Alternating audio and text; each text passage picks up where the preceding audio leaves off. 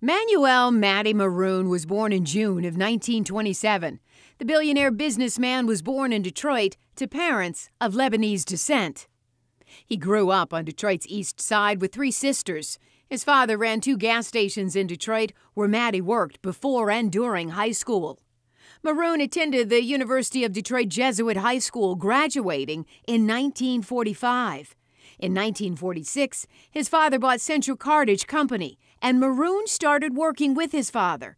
During college, Matty regularly commuted between the University of Notre Dame in South Bend, Indiana, and Detroit to help run the family business. He graduated in 1949 with a bachelor's degree in chemistry, physics, and biology. Moroun would buy the Ambassador Bridge in 1979 when shares came on the market, and that ownership helped him become a billionaire.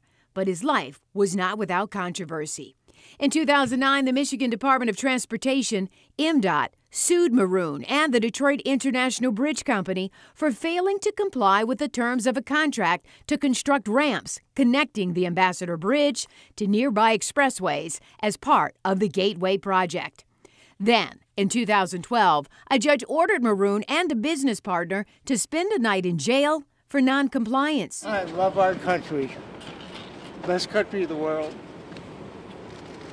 and I love my family. Be happy to be with them. After many court battles, the U.S. and Canadian governments agreed to build the Gordie Howe International Bridge, a bridge between Detroit and Windsor to be located downriver and to be funded entirely by the Canadian government. All tax revenues from tolls from the Gordie Howe Bridge are to be granted to Canada for the next 50 years after construction is completed. This is in contrast to the tolls collected on the Ambassador Bridge, which are subject to U.S. taxes and given to Detroit. Critics suggest that Moroun's opposition was fueled by the prospect of lost profits from duty free gasoline sales at the bridge. Moroun also owned Michigan Central Station from 1995 until selling it to Ford Motor Company in 2018. Now a showplace that will bring jobs and people to the Detroit area. Moroun and his family have faced criticism for failing to invest in the property over its years of ownership, leading to a significant amount of decay within the property and generally contributing to the urban blight character that enshrouded Detroit for much of the later part of the 20th century and early 21st century.